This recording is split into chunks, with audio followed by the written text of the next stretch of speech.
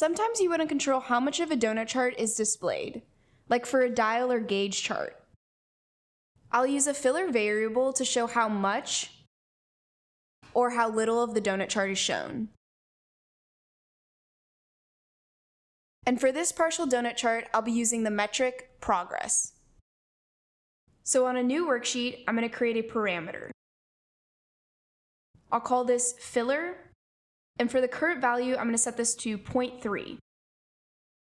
Then I'll right click and show the parameter on the worksheet.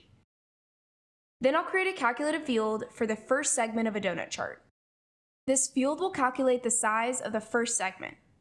So if the average progress is greater than 50%, it limits the first segment to half of the remaining space after accounting for the filler. Otherwise, it sets the first segment to the average progress value adjusted by the filler.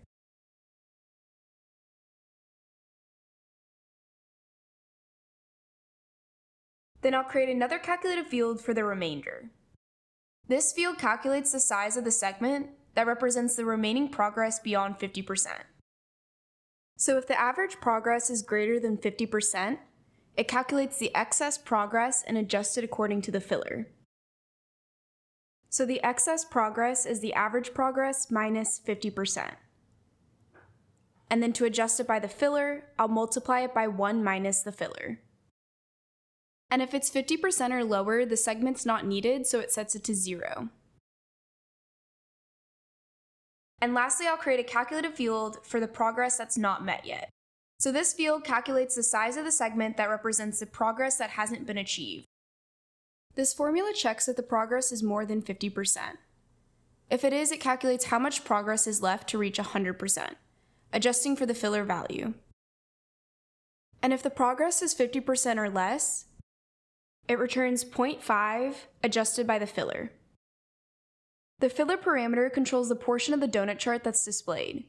It's cutting out a section to create a partial donut chart rather than a 360 degree one. And our filler is 0.3, which means 30% is reserved and 70% remains for the data. Multiplying each of these fields by 1 minus the filler ensures that each segment is proportionally adjusted. To create the structure of a donut, I'll type the minimum of 0 twice into the columns. Then for the first mark, I'll change it from automatic to a pie.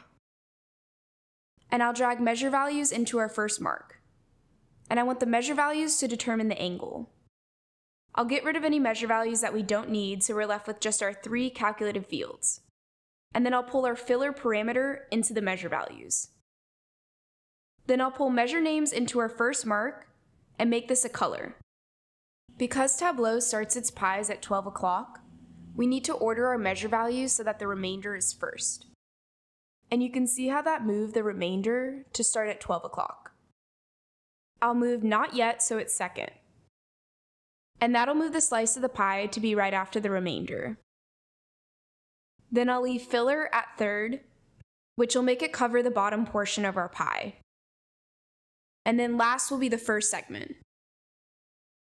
To get the donut effect, I'll go to the second mark and change this to a circle.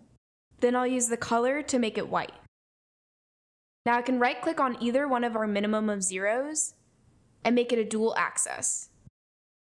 Under the first mark, I'll use a size slider to make it bigger. And under the second mark, I can use the size slider to determine the thickness of the donut.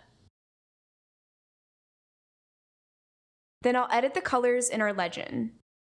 The first segment and the remainder represent how much progress has been made. So I'm going to make both of these a green color. And filler is the part that we don't want to see, so I'm going to make this white. And since not yet is the portion remaining, I'll make this a beige color.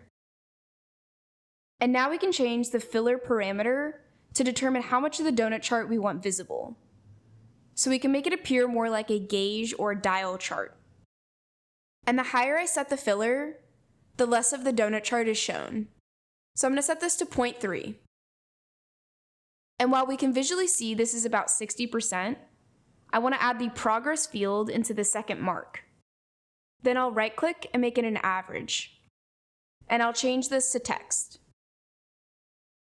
Under the label and the marks, I'll center this horizontally and vertically.